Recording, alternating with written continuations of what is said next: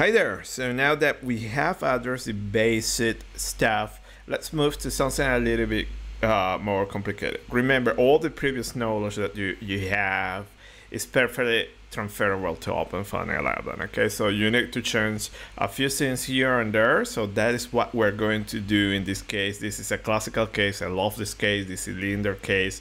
I address a lot of stuff here. Okay, I'm going to address, I'm going to go to the basics. But just to remind you that this case, so you go to our website here, you have the training in the finite volume method. Uh, let me go here. You have a lot of trainings that we have developed. And the one finite volume this one and you can download all the training material you have the tutorials and all the the sites and so on okay OpenFOAM 10 and if you want, you can take that that case and then convert it to OpenFOAM 11. You will see that it's quite quite straightforward. So what we're going to, to address is the classical cylinder case. Okay, so this is what we have.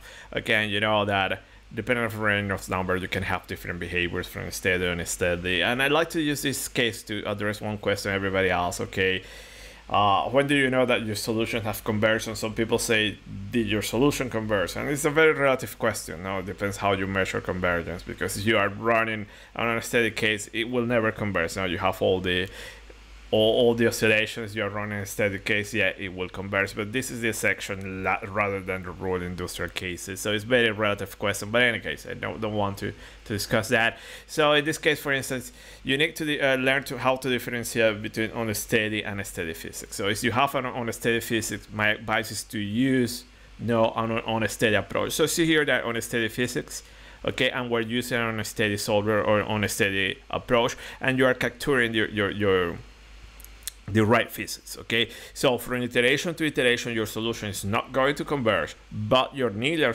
linear solvers are converging.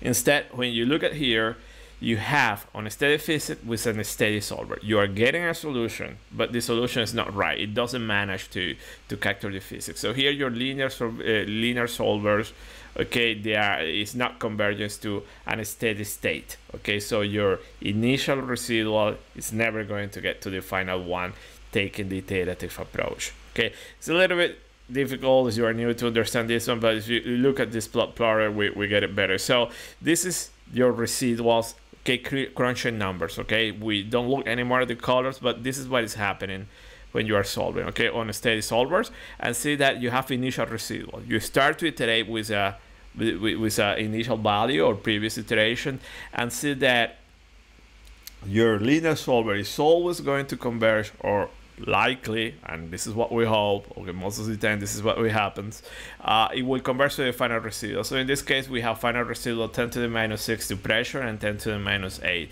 to, to, to, to velocity and the other quantities, okay? So this is a steady solver. And then when you go to a steady solver, it's something similar, but the idea in a steady solver is that the initial residuals, if you have a, an actual uh, a steady solution, the initial residuals should go down to the final residual. But that will never happen here, okay? As you see, 200 will never happen. Okay, so as I say, this is very difficult. It's very relative that question. Did it converge? Okay, depends how you measure that and how you want to look that. But this is a valid question, okay? If you validate it it will not be right but is you have colors everything work fine okay? So then you go and you have the sampling and look at what happens when you sampling and compare now the frequencies of a drag coefficient in this case is that in the steady case it will underestimate a lot that value. And same with the lift coefficient okay? The average value will be around zero but then the amplitude or standard deviation whatever you want to measure is quite different okay? Be careful about that and let's move now.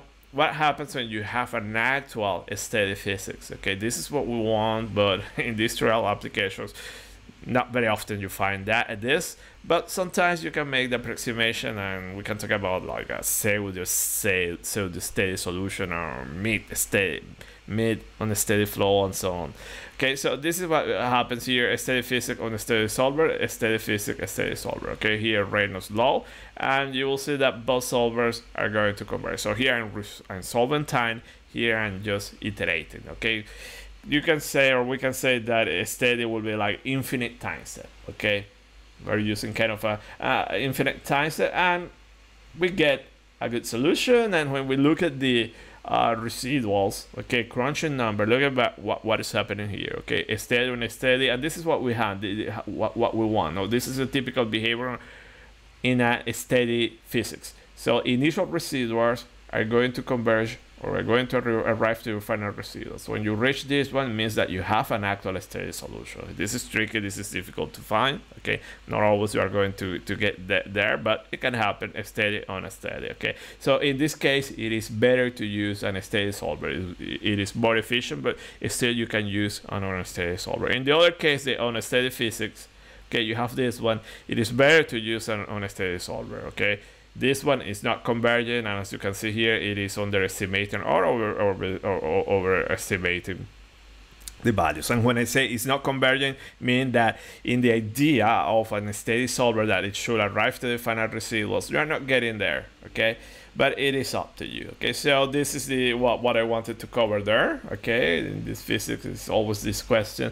So let's go to the case and we have we have it here so you have the pdf there if you want as well. So you have steady on a steady solution. So let me go to the to the steady and remember here the solvers is pretty, pretty much the same as OpenFOAM you will need to do some modifications. So let me go here and you have insistent to folders depending to what you want to run. So uh, we have the usual scripts to do to run everything. Okay so let's recap what is happening here. So I will run first.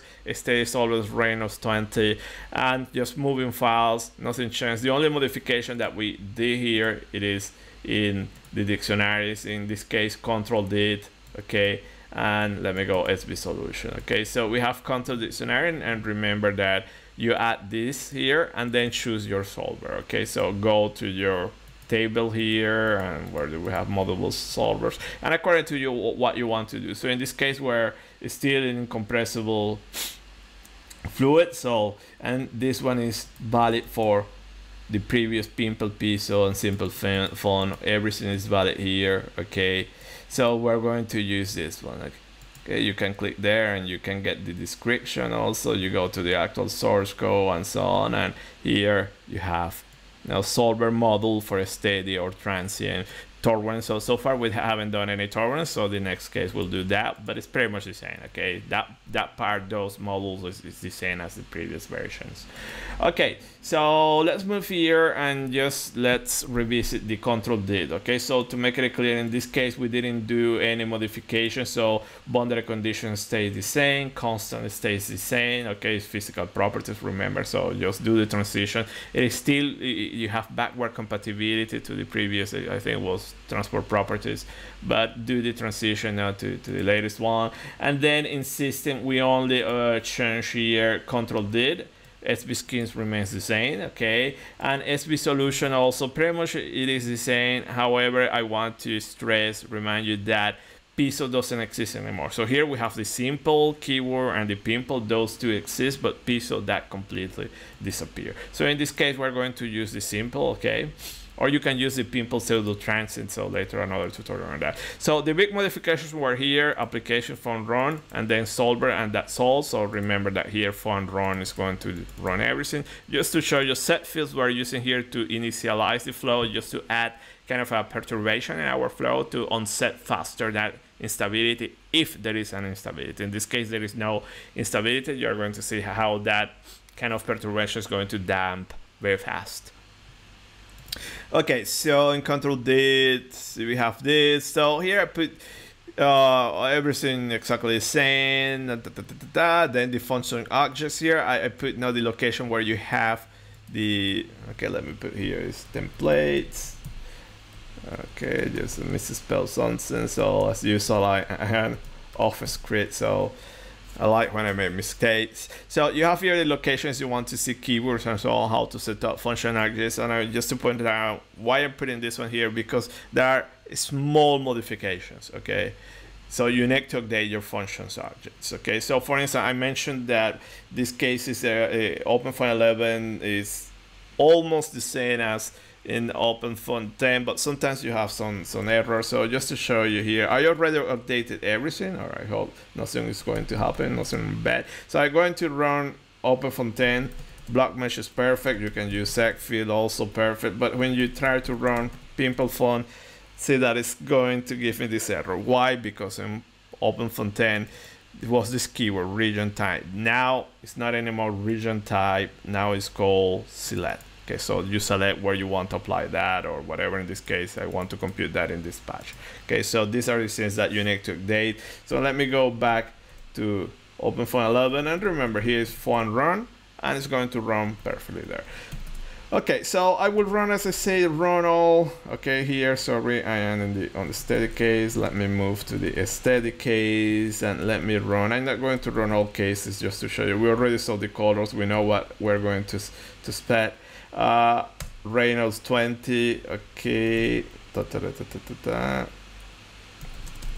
Ronald Reynolds 20 okay so it's running. And in the directory also just explain a little bit what you have there and when you enter. So if when you see this view, you have here an state just to visualize everything and then you have these scripts to to plot the solution and so on. So let me show you. In this case it's very handy okay to use I have a new plot script there okay in the script zero so you go like this no plot script zero and pa, pa, pa, pa, pa, plot okay should be uh, plot ah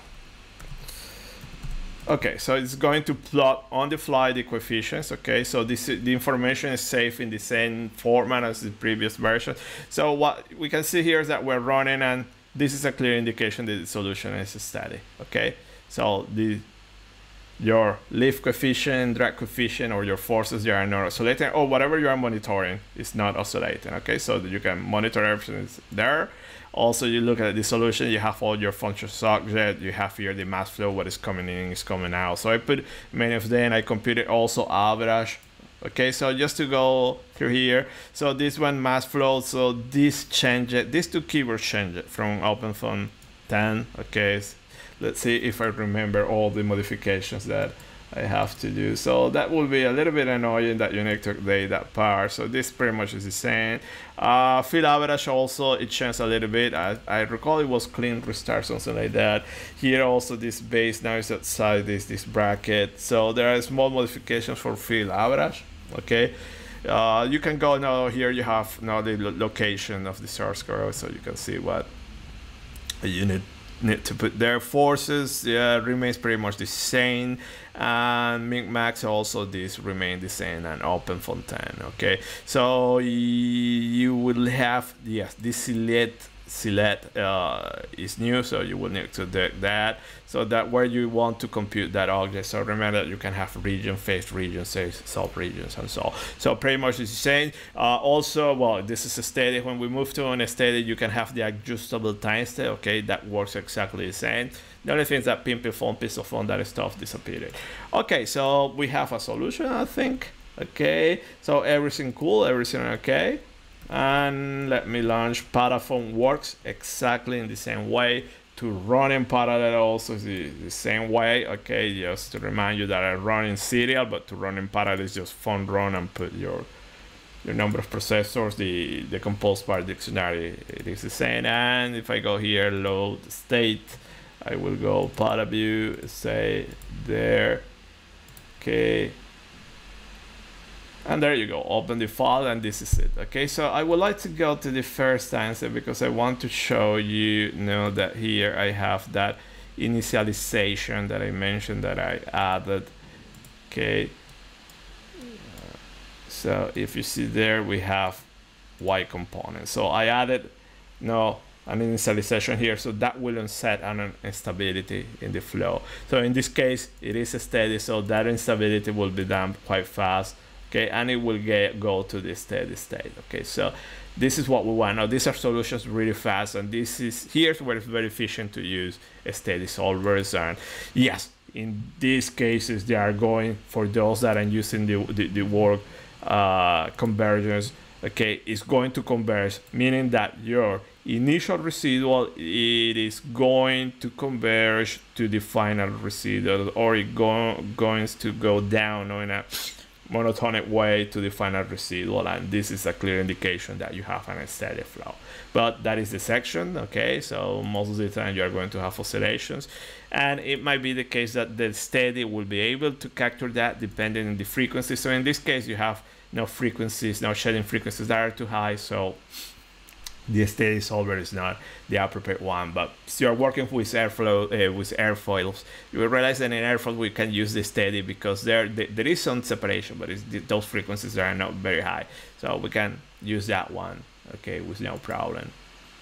Okay, so this was the steady case. Exactly the same as you use the the the uh, on a steady solver. By the way, here you have you no. Know, we we just run with a Reynolds 20, which is the steady case, is you go with a Reynolds 200, the flow becomes uh, fully transient there. So you can still run there, nothing changed, but you are not capturing the right physics.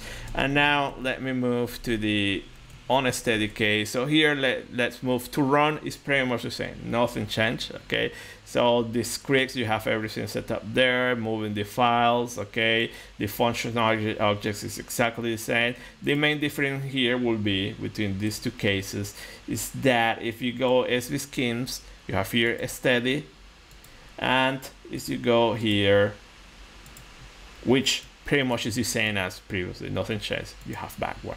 Okay, the difference now is this. Okay, so I hope now you are getting this muscle memory that the, the actual modification is not that that big and probably will make things easier but if you were doing previously a lot of parameterization and so on. You will need to update your script but it's not that big of a deal. Function objects there are a few things that you need to move here and there. As we saw in the previous video the source code change uh, I, will, I will not say a little bit but I will not say a lot but it will change. So if you have been developed applications that will be will need the applications okay? The solvers icoFoam whatever. If you have the libraries if you were developing models that stuff is still the same okay? Have many turbulence models and so on and that stuff is the same just the solvers that requires some updates. So let me go here and let me launch just to show you here how things work. So i will launch on a steady okay you have the script that is moving files so you can open those files to see what is happening Okay, so it's running the unsteady Reynolds 200, so it's the actual case unsteady. So where I need to use there the unsteady solver, remember that you can still use the steady solver, but it's not a good approximation. Okay, so it's better to use the unsteady solver. And let me plot, I really like this. Okay, in this case, you can see better script zero and you have here plot all and you have it there. So we're plotting the coefficients. So we start here, we added that perturbation that we set fills just to unset the instability. So this is instead interesting case. Okay, I really like I mentioned that. I love this one because if you don't unset that, use that instability, you're going to capture this behavior, but it going it, it is going to take a long time. So if I will recall, would be something like 100 seconds it's going to be steady and then it's going it's going to go up. In this case thanks to that instability we add that perturbation. That in this case was the initial field but it can be anything. You can add a source or whatever and unset that okay so if you are dealing with transition you can get an idea that things can get crazy if you are doing transition that you put some points and you can unset change the complete behavior okay so that is the idea in this case but wanted to show you that things work exactly the same way. Okay, so the case is working nicely. So conservation, what is going in is going out. We have all the forces here. I like to always monitor minimum and maximum values. So here we have pressure minimum, maximum, okay, the magnitude velocity, minimum, min, max velocity, and so on. And this is what is happening here. Is that we have our loop. Okay let me go up here. Let me open this case and we have the fvSolution. Okay and what is happening?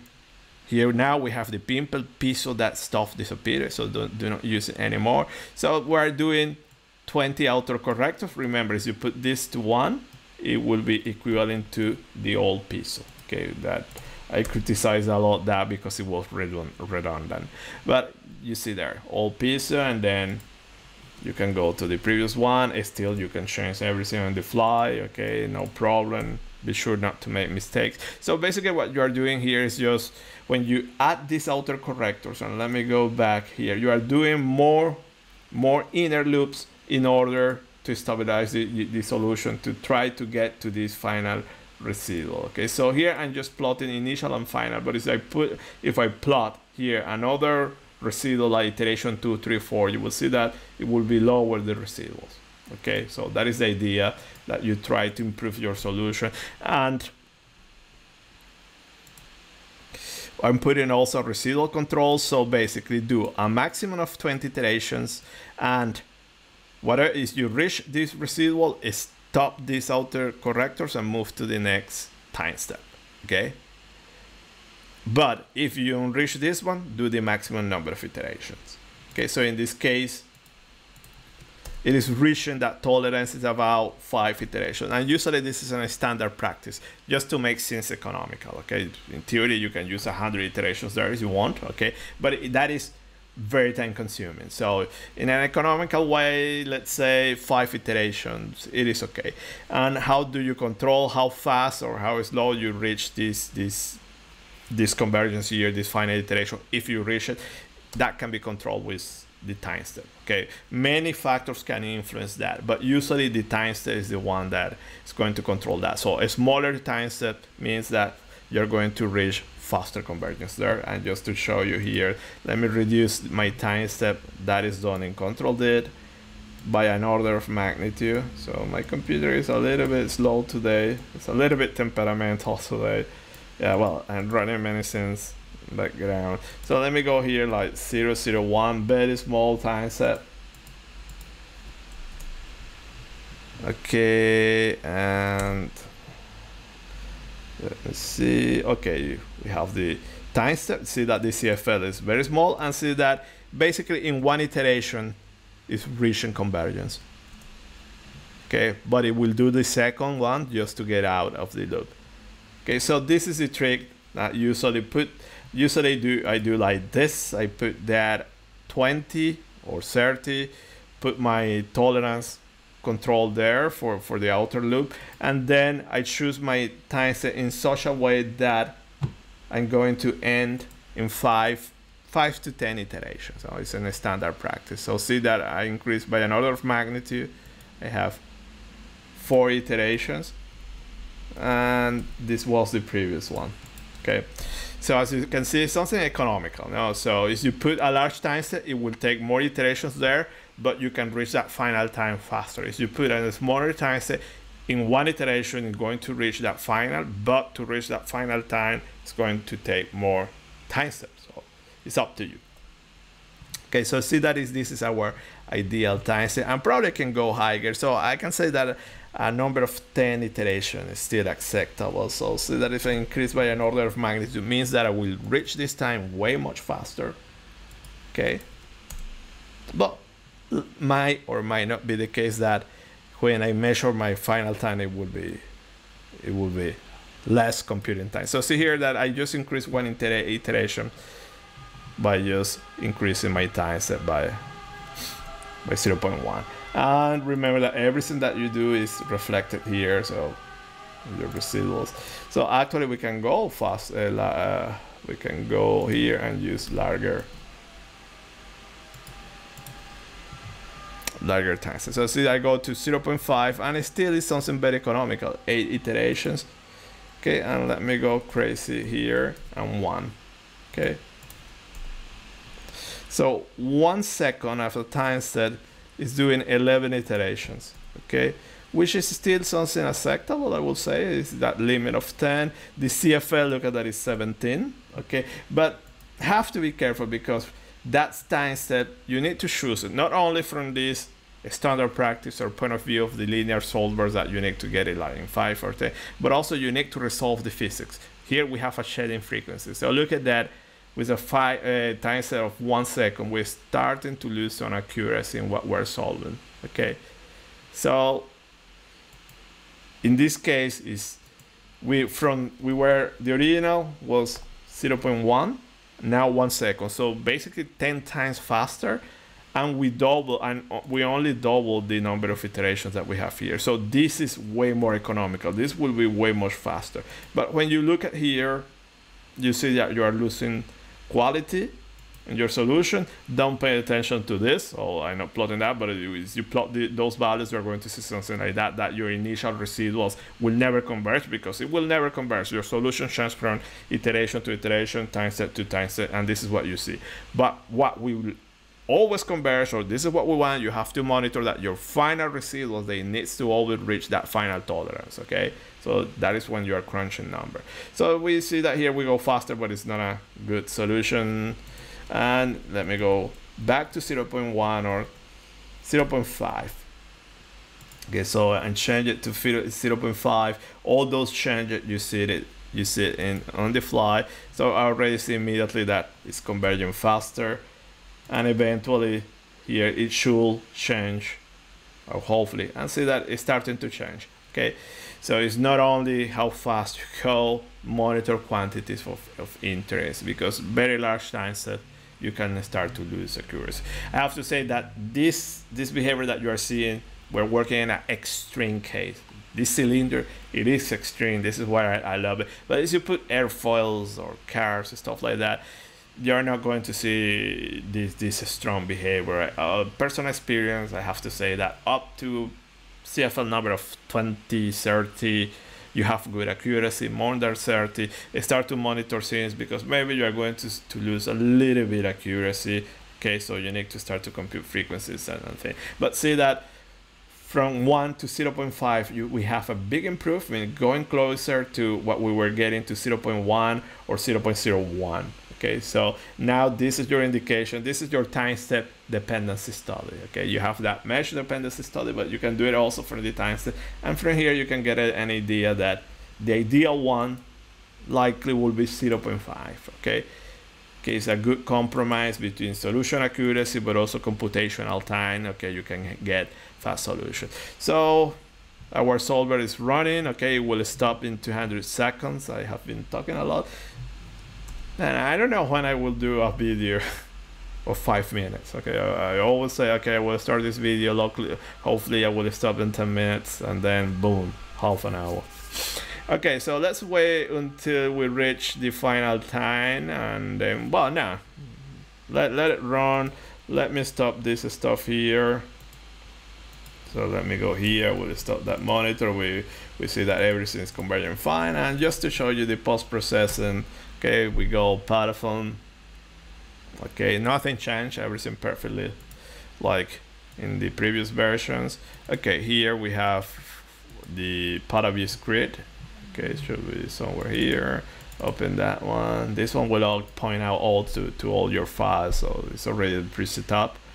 And there you go, this is what we have. Okay, so at the beginning we have that perturbation. Remember, that is critical to mm, have a faster onset of this instability. So at the beginning, you see large oscillations, and slowly, you know, things are going to stabilize, and then we have it there. So already here in 40 seconds, 50 seconds, we're in a periodic, know, in a periodic uh, behavior. So this is now when I say uh, people ask, did the solution reach convergence? Well, it's very relative. If you look at this on a steady solution, now you never reach convergence, okay, because everything is, is oscillating. But if you look at for the periodic point of view that the solution is oscillating in a periodic way, you say, okay, I reach that convergence, okay, because I have my oscillation and I see that it's periodically. Hopefully, it will be a good result if I have a good measure, the good and the good numerics. And if you do the same with the steady case, there, yes, you can say if your physics is steady using a steady solver, you will see that the residuals are flat, and there you can say, okay, this is a proper conversion when you look at your residuals and so on. Okay, so be careful about that. No, that what I wanted to say. So at this point, I think we're 90% okay of that transition from previous versions to OpenFOAM 11. We have covered that. Okay, so the the most important, the fundamental part is this you need to get familiar with all the modular classes so this table is a fantastic table I love it so get familiar with that and then there are new solvers that the idea will be the same just put that class identify what you need to do. So next case we stay in the cylinder we move to turbulence just to show you exactly the same but turbulent case just to show you that turbulence doesn't change. And also we're going to to go supersonic the same cylinder just to show you that now using rhoPimpleFoam or whatever it works. Then we move to the isothermal case you know the pipe and the VOF also the dam break and probably I will do a combustion case with C siphon okay? So that's all okay? So i hope you you found useful this video okay? So get used. A good exercise it will be get the original case or remember that on our website we have here you can download the material and try to convert it to OpenFOAM 11 so you get that muscle memory. Okay so i think everything went fine here. I don't have nothing strange so you can run in parallel. Everything works exactly in the same way. Okay so thank you for your attention. Remember to subscribe to, to our channel or join our channel to help us you know create more material and and grow the channel. And see you next video. Bye